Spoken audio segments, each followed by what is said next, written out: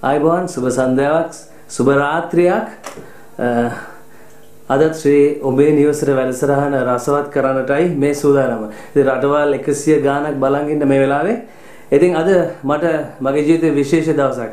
ඒ මොකද කියනවා නම් අපි මේ වැඩසටහන අපි සංගීත ශිල්පීන්, ගායකයින්, චිත්‍ර නිර්මාණකරුවන් මේ හැමදෙනෙක් ගැන කතා කරලා තියෙනවා. ඉතින් මම පළවෙනි වතාවටයි මගේ ජීවිතේ මේ ක්‍රීඩකයෙක් එක්ක මේ සංවාදයක යෙදෙන්නේ.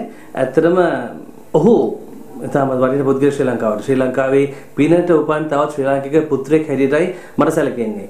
ඇත්තට මම අද ඉන්නේ මේ අපේ හිතවතුගේ නිවසේ. ඇත්තම කුමාර අපි ආදරෙන් කතා කරන අපේ කුමාර මහත්මයාගේ නිවසේ තමයි අද මේ රාත්‍රියේ භෝජන සංග්‍රහයකට තමයි මම මේ සහභාගී වෙලා ඉන්නේ මේ ශ්‍රී ඔබේ නිවසේ වැඩසටහන රූපගත කරන්න.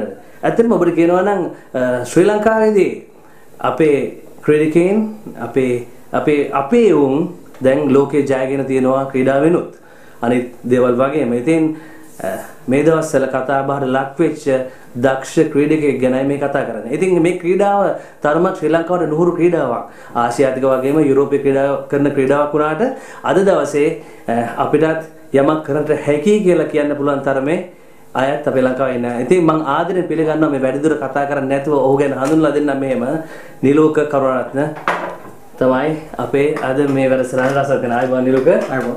අයවන් ඉතින් නිලෝක ඇත්තම ඔබ බැඩ්මින්ටන් ක්‍රීඩාව තමයි දක්ෂ. ඔව්. ඉතින් බැඩ්මින්ටන් ක්‍රීඩාව ලෝකෙට අරන් ගියා ලංකාවේ නම එළියට තියන්න අරන් ගියා ඔබ. ඉතින් මොකද මේ ඉතාලියේ මේ දවස්වල කරන සංචාරය කියලා මම මුලින්ම දැනගන්න කැමතියි. මම ඉතාලියට එන්න හිතුනේ ඉටලියන් ඉන්ටර්නැෂනල් චැලෙන්ජ් කියන ජාතික තරඟාවලියට සහභාගී වීමට ඒක රෝම වල තමයි පැවැත්වුනේ. ඉතින් ඒකේ අද තමයි තරඟ ආරම්භ කරේ. ඉතින් ඒ සඳහා තමයි මම ඒ තරඟවල සහභාගී වීමට තමයි මම ඉතාලියට ආවේ. ඔව් ඇත්තටම අද දවසේ නිලෝක සහභාගීච්ච තරඟය අපි රෝගත කරා අපේ රෝහන් විශේෂයෙන්ම ගියා මේ වැඩසටහන රෝගත කරන අද දවාලේ තිබ්බ මේ මේ තරඟය. ඉතින් ඒ ගැන පස්සේ කතා කරන්න මම කැමති නිලෝක ඔබ ශ්‍රී ලංකාවට අභිමානයක් හැමදාමත්. ඔබ තමයි ලංකාවේ බැඩ්මින්ටන් ක්‍රීඩාවේ අද අද දවස කියලා තමයි මම හඳුන්වන්නේ. ඉතින් මට අපි කතා කරමු ඔබගේ මුල ඔබේ ලංකාවේ ආරම්භය ගැන. ඔබ ඉපදුනේ ගම රට ප්‍රදේශය ගැන. ඔබ ශ්‍රී ලංකාවේ කොයි පළාතේද? ඔව් මම මගේ ගම වෙන්නේ මගේ ගම වෙන්නේ බලපිටිය ප්‍රදේශය. ඉතින් මුලින්ම පාසල් ගිය ධර්මාශෝක විද්‍යාලය අම්බලන්ගොඩ. ඉන්පසුව රාජකීය විද්‍යාලය කොළඹ රාජකීය විද්‍යාලය. ඉතින් මම බැඩ්මින්ටන් ආරම්භ කරේ වයස අවුරුදු 8 දී. ඒ ඒ දක්වා ඒ කාලේ අවුරුදු 8 සිට දැන් දක්වා අවුරුදු 28ක් දැන් මට අවුරුදු වයස අවුරුදු 28යි දැන් අවුරුදු 20ක් ප්‍රමාණ කාලයක් මම බැඩ්මින්ටන් ක්‍රීඩා කරනවා. ඉතින් අද දවසේ තියෙන විශේෂත්වය තමයි මේ ක්‍රීඩකයෝ ලෙසි මහත්මයා අතරම අපේ හිතවතා අද මේ සම්මාධිකරණ කටයුතු ඔක්කොම කරන්න අපේ ලෙසි මහත්මයි. ඉතින් මේ ක්‍රීඩකයෝ සාමාන්‍යයෙන් වයස කියන්නේ නැහැ. අද නිලුකගේ තියෙන මේ නිහතමානීකම තමයි වයස කියලාම තමයි අද මේ කතාව රසවත් කරන්නේ. මොකද ඒක තමයි Tamanගේ ඇත්ත தත්ති කතා කරන්නේ. හැමතිස්සම මම හිතන්නේ නිලුක සැදී පැහැදී ඉන්නවා. ඉතින් නිලුක ඇයි මේ ක්‍රීඩාවන් රාශියක් තියාගෙන මේ බැඩ්මින්ටන් ක්‍රීඩාවම තෝරගත්තේ?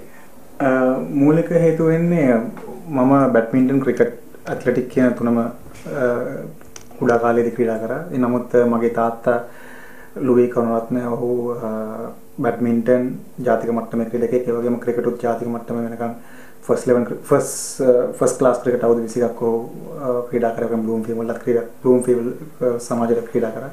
සුමිනුත් කරා. ඔහු තමයි බැඩ්මින්ටන් වලට යොමු වෙන්න මූලිකම හේතුව වෙන්නේ මොකද ඔහු හිටපු ජාතික පුහුණුකරුවෙක් වෙලා හිටියා. ඉතින් ඒ කාලෙදි තමයි මම බැඩ්මින්ටන් වලට මුලින්ම අවතීර්ණ වෙන්නේ. පාසලේදී ඔබට ලැබුණු සහයෝගය කොහොමද නිලුක? පාසලේදී ලැබුණු සහයෝගය ගොඩක් මම මුල් කාලේදී ධර්මාශෝක විද්‍යාලයේ මහරජාගේ විද්‍යාලයට යනවා. ඒ කාලේදී තමයි මගේ බැඩ්මින්ටන් වල ගොඩාක් හොඳම අවධිය වෙන්නේ. ඒ කාලේදී තමයි මම බැඩ්මින්ටන් වලින් ජාතික මට්ටමට සහභාගී ජාතික කණ්ඩායම නියෝජනය කරන්නේ ජාතික කණ්ඩායම නියෝජනය කළ මුලින්ම ටුවර් කරන්නේ ඉතින් ජාතික චුරතාව ජයග්‍රහණය කරන්නේ ඒ අවධියේදී. ඒ මොන මොන වසරද ඔබ ජාතික කණ්ඩායම නියෝජනය කරන්න මම ජාතික කණ්ඩායම නියෝජනය කරන මුලින්ම වයස අවුරුදු 15 දී 2000 2000 වර්ෂයේදී. ඊට පස්සේ 2001 වර්ෂයේදී මම ජාතික ශූරතාව ජයග්‍රහණය කරනවා. ලාබාලතම ජාතික ශූරතා ශූරයා වශයෙන් ලංකා ඉතිහාසයේ. ඉතින් ඒ දක්වා අවුරුදු 12ක් මම ජාතික චුරතාවේ ජයග්‍රහණය කරලා තියෙනවා මේ දක්වා. ඉතින් කොච්චර වටින ජීවිතද අපිට ඉන්නේ. ඉතින් ශ්‍රී ලංකාවේ එම්, අපි ක්‍රිකට් වලින් ලෝක ශූරයන් වුණා. ඉතින් ක්‍රිකට් මේ අපේ දැන් ජාතික ක්‍රීඩාව හැටියටයි ක්‍රිකට් ම්, දැන් වෙලා තියෙන්නේ මොකද ජාතික ක්‍රීඩා නොවනත් හ්ම්? අද ජාතික ක්‍රීඩාව හැටියටයි සලකන ක්‍රිකට් ක්‍රීඩාව හැම පාරක් තොටකම හැම මේ මේ මේ හැම ලේන් එකක් අස්සෙම අද ක්‍රිකට් ගහන තරමට අද කවුරු හරි ක්‍රිකට් ගහන්න නැත්නම් ලංකාවේ පුදුමයක්. ඉතින් ක්‍රිකට් වලට මෙච්චර නැඹුරුවක් තියෙන කාලේ වෙනත් ක්‍රීඩාවක් කරමින් ලෝකේ ජයගත්ත නම් ඇත්තටම ඒක විශිෂ්ට අපංකමක්. ඉතින් ඔබගේ අ, පියා තමයි මම හිතන්නේ ඔබගේ මුල්ම පුහුණු කරු කියලා මම හිතන්නේ. ඔව්. අපි ඕක ගැන කතා කරමු. තාත්තා තමයි මුලින්ම පැඩ්මින්ටන් වලට මාව එක්කන් ගියේ. ඉතින් ඉන්පසුව ඔහු තමයි මම ජාතික චුරතා චුරතාව ජයග්‍රහණය කරනකම් මගේ පුහුණු කරු වෙන්නේ දැනටත් මගේ පෞද්ගලික පුහුණු කරු වෙන්නේ. නමුත් අපිට ජාතික කණ්ඩායම අ, පුහුණු කිරීමට මැලේසියන් කෝච් කෙනෙක් ඉන්නවා. ඉතින් අ, අ, ඔහු තමයි ගොඩක් අ, පසුපසින් ඉඳගෙන ගොඩක් උපදෙස් දෙන්නේ අ, ක්‍රීඩා තරඟ තරගා කරන්න ඕන ක්‍රීඩා තරඟාවලිය මොනවද කොහොමද ඒවා තෝරගන්න ඕන ඒ ඒ ඒ අ, ප්‍රතිවාදීන්ට අනුව ක්‍රීඩා කරන්න ඕන විලාසය මොකද්ද ඒ ආකාරයේ සියලු දෙයක්ම සැලසුම් කරන්නේ ඔහු තමයි අ, මං ආසයි මෙන්න මේ වගේ ප්‍රශ්නයක් අහන්න. දැන් ජීවිතේ දැන් ඔයා ක්‍රීඩා කරන්න පටන් අරගෙන පුහුණු කරමින් ජාතික කණ්ඩායමට තේරිලා. ඒ ඒ තේරෙනකොට මොකද හිතන්නේ? මම මේ නැෂනල් ගහනවා. මම නැෂනල් ටීම් එකේ ප්ලේ කෙනෙක් කියලා දන්නවා වාට මොකද්ද ඇතුලේ අහිංසක හැඟීම හිතට? අ, මුල් කාලේදී අ, ක්‍රීඩා කරන්න ආ- ආරම්භ කරපු කාලයේදී මට හිත අ, මම ලොකු බලාපොරොත්තු තිබුණේ නැහැ. මොකද මොකද මට තේරුම් ගන්න තේරුම් ගියේ නැහැ මට ගොඩක් ඉදිරියට යන්න පුළුවන් කියලා. නමුත් අවුරුදු 14ක් 14 වෙන වගේ වයස වෙනකොට තේරුම් ගන්න පුළුවන් වුණා මට අ, ඒ මට්ටමට යන්න පුළුවන් ජාතික ජාතික මට්ටමට යන්න පුළුවන්. ඊට පස්සේ අවුරුදු 18 19 වෙනකොට මට හැකියාවක් තිබුණා මට ජාත්‍යන්තර මට්ටමට යන්න පුළුවන් හැකියාවක් තියෙනවා කියලා.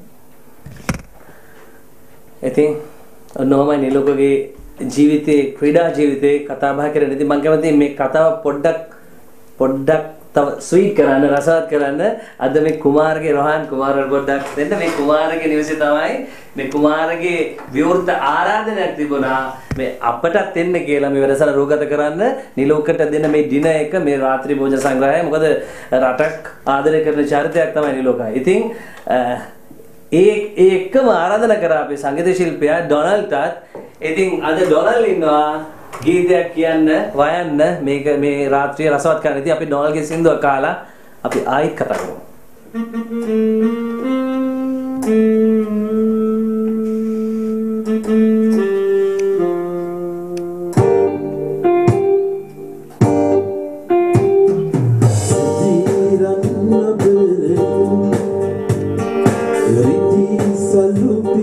මගේ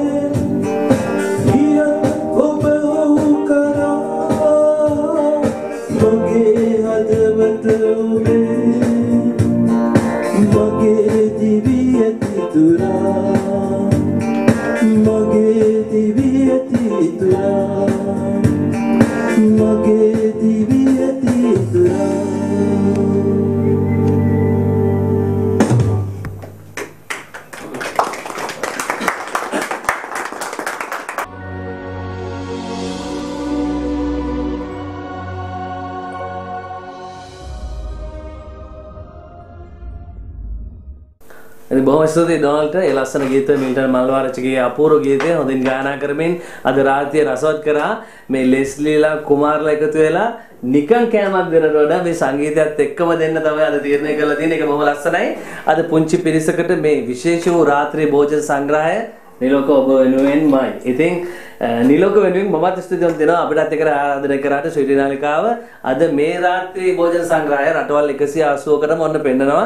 ඒ හැමෝ හැමෝම හැමෝටම පෙන්වන්නේ නිලෝක අපිට ගොඩාක් වටින කෙනෙක් නිසා.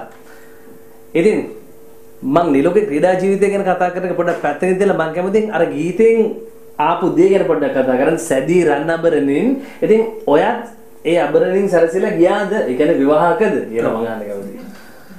ඔව් කියලා කිව්වා. සමන් ක්‍රීඩේ කිව්වා නළු නිලියෝ කියන්නේ නැහැ. අතේ බුදු ගලවගෙන තමයි වැඩවලට යන්නේ ක්‍රීඩා කරන්නත් එහෙමයි. මේ ලංකාවේ විතර නෙමෙයි ලෝක ප්‍රකට ක්‍රීඩකනොත් එහෙමයි. මොදු දාන්නේ නැහැ. ඉතින් නිලෝක අවංකව කිව්වා විවාහකයි කියලා. ඉතින් අපි කැමති ඇය ගැන දැනගන්න. මම විවාහ වුණේ ගොඩක් ළඟදී ඔක්තෝබර් මාසේ ඔක්තෝබර් ඔක්තෝබර් 16 අ බැඩ්මින්ටන් ක්‍රීඩා කරන කෙනෙක් නෙමෙයි ඇය ඉන්ටීරියර් ඩිසයිනර් කෙනෙක් ඉතින්